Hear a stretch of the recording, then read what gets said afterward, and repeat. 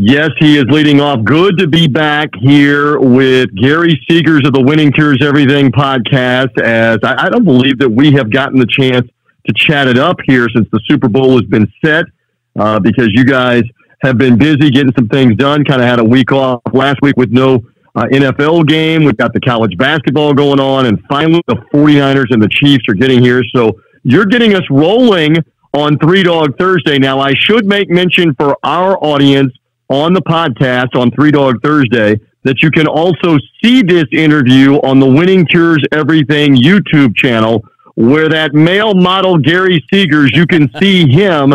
However, Gary Segars, they cannot see me, and that's, probably good because I, am I need to be uh, heard but not seen right now. They can see my picture, and then they can imagine. Bug. You're all okay. Good. My right smile there. is good. I I am I am good. So they see moving Gary Segars. They don't see moving. They just hear TJ uh, on the Winning Cures Everything YouTube channel. You're hearing it as is uh, here on the Three Dog Thursday podcast. I love the technology on how we're making all of this uh, work.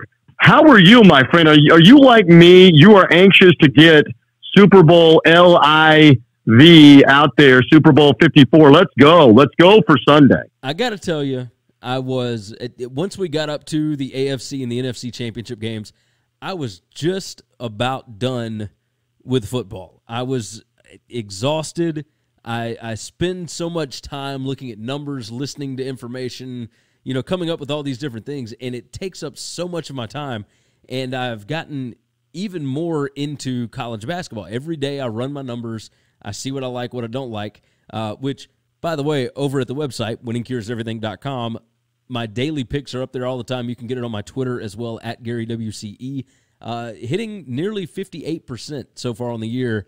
And uh, and as Good. we speak, I just watched Southern Illinois win at home against Loyola Chicago as a four point dog. Had that one today, so I'm uh, I'm three and zero on the evening. I've got two that don't look like they're going to hit, but uh, but I did have Nevada plus four at Colorado State, and that one's looking pretty good so far. So, you know, we'll see, we'll see. I, I should be a four and two evening, I think, but uh, yeah, yeah. It's it's. I was exhausted. I was tired. I was ready for football uh, football to be over, and now I'm amped back up. I'm ready to go. I'm ready for XFL next week. I mean, I'm ready for all kinds of stuff. So I've, I've actually started doing a little preview for uh, for the XFL that we'll get into next week. I love I love all of it, and uh, and obviously there's a Tampa XFL team here in the uh, the greater Memphis area in the mid South. They had a team a year ago in the Alliance of American Football, which did eight of its ten regular season games and then ran out of money and went kaput. I think McMahon's league may play the whole year, so that'll be interesting to see how it uh, how it plays out with the TV ratings and the major markets and the NFL stadiums and all of that. He so says that he's got the money invested already for three full seasons.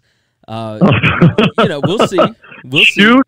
Hey, shoot for one. He did one back in 2001. Let's see if he gets beyond the first season uh, on this go around with the money and all the stuff with McMahon's uh, XFL. All right, so that's a conversation for future Three Dog Thursdays.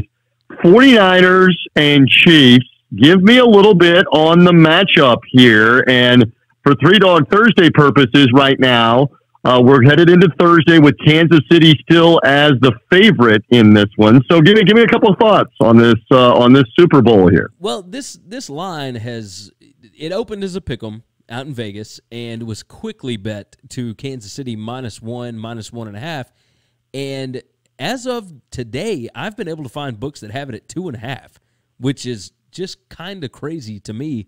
Uh, big thing that we talked about on our show on our preview this week was uh, DVOA, so defensive value over average, right? So a big thing about that uh, in Super Bowls, for whatever reason, I guess because there is the bye week for both teams before the game, you have a lot of time to figure out the other team's offense.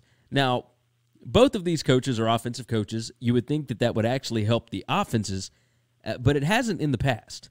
So, the last four Super Bowls, the team that has the better DVOA has actually won. Out of the last 17, uh, the better defensive DVOA has gone 11 and 6. Now, some of these have been Mm. really close, some of them haven't. Uh, just to give you an idea of which way I'm leaning on this, San Francisco has the number two defensive DVOA in the league. Kansas City is number 14. So, you know, you can look at all the different stats. You can look at yards per point. You can look at, um, you know, yards per play. You whatever you want to look at. Uh, San Francisco has a real, real advantage in this game from an overall team standpoint. Uh, they do not have the better signal caller, but I don't think that we've seen everything that they are going to do with Jimmy Garoppolo in this game. I don't think that they've lost, you know, any kind of confidence in him at all. I don't think they've had to use him for the last two weeks, uh, the last two playoff games. Right. They, haven't needed to use him whatsoever. They have ran over the Vikings and ran over the Packers like it was nothing. Uh, I don't know that they'll be able to do the exact same thing against Kansas City. Kansas City's actually done a really good job of being able to stop the run or at least slow down teams. Um, but a, a lot of that has to do with when you get up on a team, they have to go away from their bread and butter. Well, I think if you take San Francisco away from running the football, they're still going to be able to score points. So, you know, I, I'd love to see the matchup. I love to see uh, the coaches going against each other. Kyle Shanahan and Andy Reid are fantastic offensive coaches. Uh, you're going to see some crazy stuff in this game. If if there are props uh, for trick plays and fake punts and whatnot, like I, I would look for something like that because you know that these guys are going to do something to try and gain an advantage. Yeah, no doubt about that. As you listen on here to Gary Segars Winning Cures Everything podcast, I know that later on in the show we're going to talk with Brian Edwards from MajorWager.com about some of these cross sport uh, proposition bets. You're not big. You told me this before we officially began the interview. You're not big on any of the prop bets really uh, for this one. It, it, doesn't entice you on uh, number of uh, of receiving yards uh, for Tyreek Hill or a number of sacks for Nick Bosa. and none of that. None of that really appeals at least for your taste in this Super Bowl. At least for my taste, uh, because I could see this game going any number of different directions, and you know, there's some there's some games where props make a whole lot of sense, but these have been driven into the ground. Uh, people have, you know, in a regular season game or even in a regular playoff game, you're not going to get as much action on it. So the numbers, you may be able to find an edge somewhere I don't know that you can do that in this situation because so many people are so invested in it and so many people have done so much work towards it uh, that the numbers really should be right, right around exactly where they should be. Uh, I did like Raheem Mostert. Um, I liked under on his rushing yards because I think that uh, I think the carries are going to get divvied up a little more. I think you're going to see more from Jimmy Garoppolo. Uh, so I was able to get it at under 86 and a half rushing yards. But I've seen other books that have it, you know, in the mid 70s. I have, you know, it, I don't know where wow. it lands. So other people's books uh, are going to be all over the place on some of these props. So you know, I'm I'm kind of staying away from it. Uh, I think Chris and I on Friday are going to kind of go over some of the props and and just pick out fun ones. You know, heads or tails, and uh, you know, I was listening to a podcast called Bet the Process and that's Jeff Ma and Rufus Peabody. I don't know if you listen to them, but they are analytics guys, and they are fantastic. Um, and one of the big things that they were looking at was uh, will the opening kickoff be a uh, touchdown or not? and which even at the odds of like, you know, minus 250 for no, it's still a good bet based on uh, where Hardman is and, and how far the San Francisco kicker kicks it and all that kind of stuff but you don't know who's going to kick off, right? So it's still a good bet to bet no. um, so you, you well, have- and we and by the way, we have had a Super Bowl open with a kickoff return for a touchdown. That was Devin Hester of the Bears in yeah. this stadium in Miami in Hard Rock Stadium. Uh, quick story on that one. Yeah, uh, you'll love this, Gary Segars, as as we talk about the and I'll circle back to your analytics and the actual prop bet on the kickoff return. Um, eh, uh, so I got a, an opportunity to work with Archie Manning and, and being around um, Archie and hear different stories. And so um, he told the story about that night in Miami where Peyton Manning's playing in his first Super Bowl, and Archie is in the suite with the family with oldest brother Cooper, with Eli, who's the quarterback of the Giants, uh, with their wives, uh, and with Olivia, his uh, his wife, Peyton Manning's mom, and the name escapes me on Peyton's uh, uh, wife, but she's in the Amy. suite as well. So Archie, uh, Amy, thank yeah. you. All right, so so Archie has a team meeting with all with all the family members. And he says, "Listen, this is a this is a neat night. It's a neat honor. It's something I never got to do, and, and we don't know when this is ever going to happen again for Peyton. We hope it happens a bunch. We hope it happens for Eli a bunch. But whatever happens, let's let's don't be miserable. Let's be happy. And the other thing you need to be aware of is the TV cameras are probably going to be on us constantly. And if something goes wrong, I don't want us on worldwide TV from the Super Bowl looking down and out or mad or gesturing. I want us to be positive. I want us to be happy. That's what he says. So that's his, that's his team meeting a few minutes before the game. So the game kicks off. The Colts kick off, and Devin Hester catches it and goes whatever he went 95, 97, 100 yards. And Archie says, Olivia, who had been married to me 40 years at this time, Olivia turns to me as Devin Hester is at about the 10 yard line, and she goes, I don't know about anybody else, but I'm miserable, damn it. so, so, so that's the way that Super Bowl began uh, uh, there for the uh, the Manning family. But yeah, it worked out. Yes, it, it worked out. It worked out well in that instance. But back to your analytics, you're saying the opening kickoff return for a touchdown may just be a good value. Yeah, yeah. Regardless of, of how much you're giving up there, it's uh, the odds of them actually returning the opening kickoff for a touchdown are eh, not great. And so that I mean that would be a good one. Um, I mean, there's all kinds of other ones that that you can get into. Will there be an onside kick? Uh, there were only 60, there were 62 this year uh, onside kicks out of eh, what is right. it, 250 some odd games. Uh, so the odds are eh, probably not. Um, you know, so if, if you want to go where the best EV is, uh, I would go no to the onside kick, and I'd go no to the opening kickoff.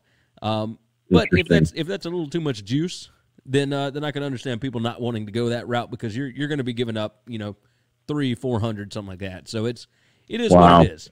Um, well, and and we think we have this stuff figured out, and then we get a Super Bowl like Super Bowl Fifty Three a year ago, where there's no touchdown scored by either team in the first three quarters. So sometimes you can look at the analytics and try to figure this stuff out.